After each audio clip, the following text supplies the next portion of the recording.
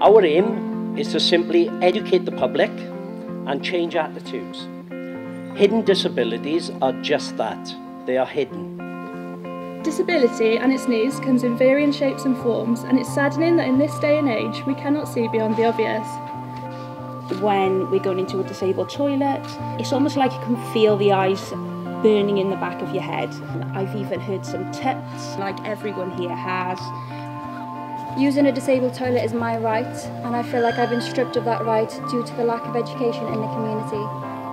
Let Us In is a campaign that acknowledges the 92% of the UK's disabled population that currently aren't represented by our accessible toilet signage.